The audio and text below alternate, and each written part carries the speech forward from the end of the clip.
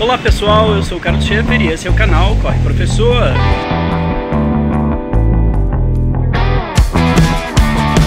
Hoje, início das férias, uma garoinha para eliminar o calor e um treininho de 10 km, bem levinho, bem devagar, um treino bem bacana para retomar as atividades e evitar lesões futuras.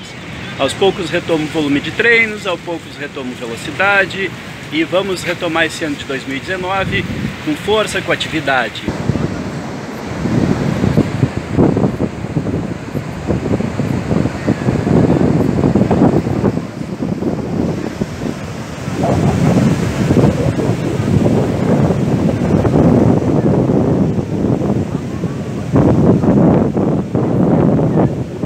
Iniciei o ano com aulas de manhã e à noite, desde o dia 13 de janeiro, e, agora, e precisei parar de treinar devido à intensa atividade de aulas em duas cidades diferentes.